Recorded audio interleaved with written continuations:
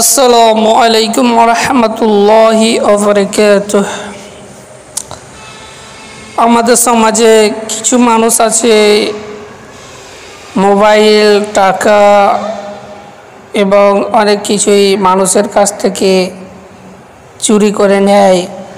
তারা এটা চিন্তা করে না, তার জিনিসটা অনেক দামি ছিল, প্রয়োজনের ছিল। সে নিজের পেট ভরার জন্য সে নিজে চুরি করে নেয়। এই চোরগুলো বেঁচে যায়।